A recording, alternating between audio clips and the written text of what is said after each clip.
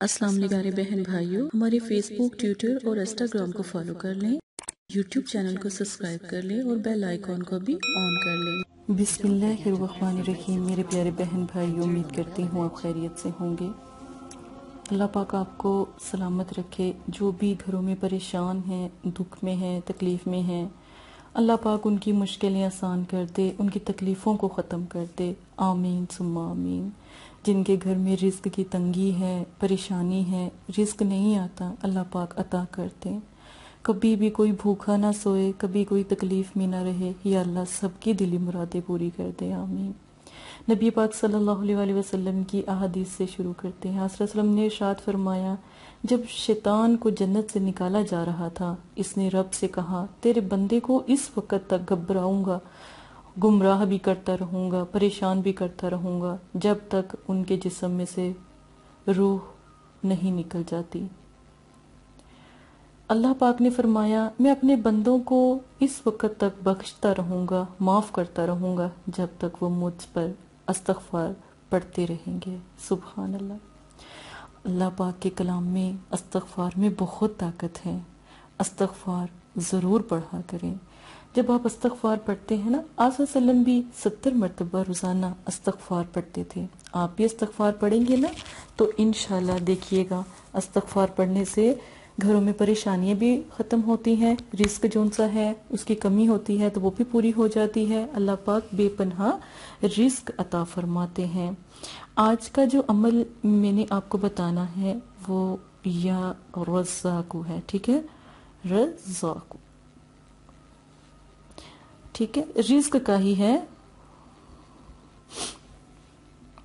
अब आपने इसका एक खास तरीका मैं आपको समझाऊँगी। आपने उसी खास तरीके से इसको करना है। ये जो अमल आज मैं आपको बताने लगी हूँ, ये बहुत जो अमीर लोग हैं, अल्लाह के बंदे हैं, जिनके पास बेहिसाब रिस्क है ना, ये उनका अमल है। ये अमल साल में एक मरतबा किया जाता है। ये अमल इतना अमीर कर देता है कि वो अरबों का मालिक बन जाता है। और अल्हम्दुलिल्लाह, गैब से जितने बड़े अल्लाह पाक हैं, जितना अल्लाह पाक का दिल है तो अल्लाह पाक से उतनी ज़्यादा मांगना चाहिए ना? तो फिर अल्लाह पाक से ज़रूर मांगे।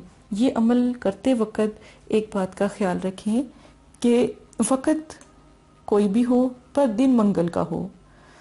फ़कत दिन के दस बजे का भी रखेंगे तो बेहतर है, लेकिन दिन मंगल का ही रखिएगा।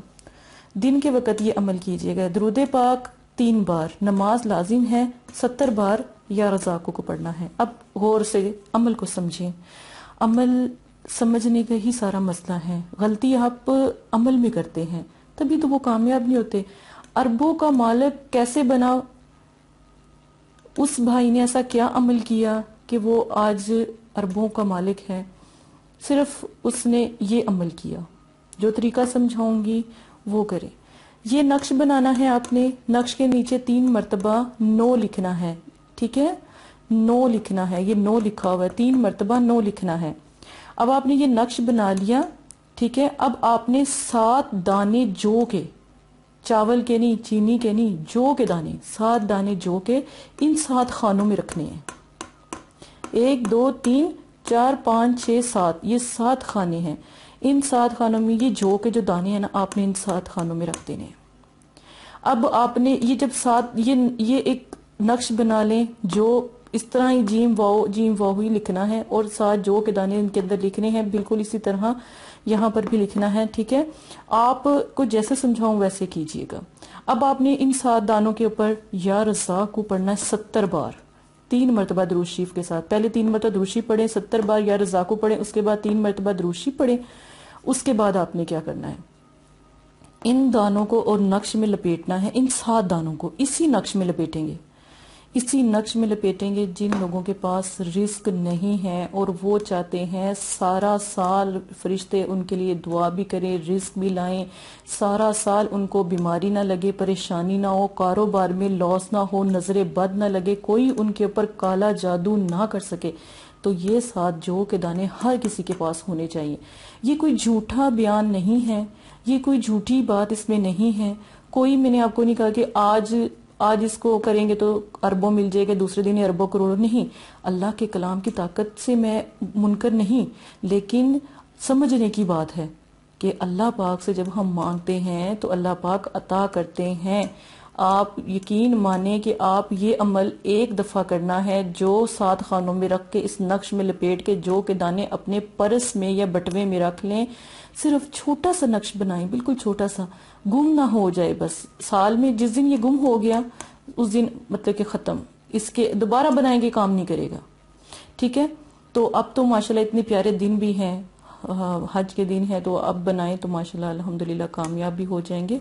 तो आपने ना ये पर्स या बटवे में रखने हैं, ये लिखना अब ये मैंने बनाया है एक जार। शीशे का जार ले लें। जार कहते हैं डब्बे को, जिसमें मतलब के पानी हो, एक डब्बे, एक डब्बा पानी का लें, जो एयर टाइट मतलब कि जो ऊपर से इसका ढक्कन भी हो और कस से बंद भी हो जाए, ठीक है? जो बहुत ज़ोर से आप उसको बंद करें तो वो भी। अब ये नक्श समेत सात दाने जो के इसके अंदर रख लें। उस घर में बीमारी नहीं आएगी, काला जादू नहीं होगा, नज़रें बद नहीं कभी लगेगी, कभी उसके कारोबार में, उस घर के कारोबार में कभी तंगी नहीं आएगी। बेहिसाब रिस्क आएगा। अरब के लोग जो उनसे थे ना, वो ये अमल करते थे। जो के दाने पढ़ के, अल्लाह का कलाम पढ़ के ये जो उनसे है ना, इस तरह डब्बे में डाल कर रखते थे। अब डब्बे में जब आपने डालना है, पानी में छोड़ना है, याद रखे, पानी में छोड़ के ना, इनको अंधेरे वाली जगह पे रखना है। रोशनी में नहीं रखना, किसी की नज़र ना पड़े, अंधेरे वाली जगह में रख करना। आपने पूरा साल रिस्क लेना है ना तो फिर पूरा साल इस दानों को नहीं देखना। इस नक्श में भी जब दानों को कैद कर देंगे ना, जो के दानों को कैद कर देंगे तो इस नक्श को भी खोलकर नहीं देखना। याद रखें, नहीं तो खुला नक्श, फिर आपका काम खत्म हो गया। आपने नुकसान आपका है, ठीक है? ये अमलियात है। अब आपने जब ये सब चीज़ें कर ली, फिर रात को एक दिन का अमल है, एक दिन में ये सारा कर लें। जो के दाने आप जो उनसे हैं, इनको पढ़कर, जैसे मैंने बताया है, पानी में भी रख सकते हैं, या रजा को सत्तर मरतबा पढ़कर आप इसको पर्स में, बटवे में भी रख, जिस बटवे या पर्स में ये जो के दाने नक्श समेत होंगे, वो नक्श समेत जो बटवे के अंदर पैसे और कभी ज़िंदगी में उसका पैसा खत्म नहीं होने वाला। पैसे खत्म हुए और गैब भी आएँगे। गैबी कहते हैं ना अल्लाह पाक पत्थर में कीड़े को रिस्क देता है। इसी तरह आपको इसके पर, आपके पर्स से ना जो आपका बटवा है ना उसमें रिस्क आएगा। याद रखें। और एक दफ़ा ये अमल करें एक दफ़ा अमल करें। किसी को अमल नहीं बताएँ आप जब अमल करते हैं तो लोगों को बताते हैं कि तुम भी कर लो, तुम भी कर लो। आपका अमल खराब हो जाता है, दूसरों का कामयाब हो जाता है। पहले खुद कामयाब हो, फिर दूसरों को समझाएँ, ठीक है? तो ये पानी वाला जो सा है, ये भी आपने पूरा साल के लिए डब्बे में डाल के पानी पाक साफ़ करके तो ये रख देना है। ठीक है? आप यकीन माने कि आपका रिस्क अल्लाह पाक की ज़ात इतना बढ़ा देंगे कि आपकी सोच है। अरबोपति आपको कर देंगे घर हर चीज़ आपके पास होगी, गाड़ी होगी, जदाद होगी। अगर आप चाहते हैं ना कि बेहिसाब अल्लाह पाक आपको रिस्क दे, आप ये वाला अमल ज़रूर करें। ये वाला अमल बहुत ख़ास है। और ये मेरे प्यारे बहन भाइयों के लिए है, इसको समझें। समझ के पहले दस दफ़ा बेशक मेरी वीडियो देखें, पहले समझें, लिख लें। लिखने के बाद ये अमल करें। इनशाला कामयाब हो जाएँगे। इसी के साथ अपनी बहन को इजाज़त दें, अपना ख्याल रखिएगा। और अगर कोई वीडियो पसंद आती है लाइक शेयर सब्सक्राइब करें। जजाकल्ला अस्सलाम वालेकुम प्यारे बहन भाइयों। अगर आप इस्तारा या रूहानी इलाज करवाना चाहते हैं, या अमल करवाना चाहते हैं, या अमलियात सीखना चाहते हैं तो हमारे फेसबुक पर आकर आप फेसबुक को फॉलो कर सकते हैं और यूट्यूब चैनल को सब्सक्राइब करके वहाँ पर हमसे बात कर सकते हैं। जो भी मसला परेशानी है, उसमें ज़रूरत आपका नाम, आपकी वालदा का नाम सिटी कंट्री मौजूदा और मसला बयान। ये चीज़ें बताकर आप अपना इस्तारा भी करवा सकते हैं। जजाकल्ला और अगर आपने इस्तारा करवाना है तभी रबता करें। अगर इस्तारा नहीं करवाना तो ये दीन है, ये कोई फ़न या इंटरटेनमेंट नहीं है। अपना भी टाइम ज़ाया ना करें और मदरसे वालों का भी टाइम ना ज़ाया करें।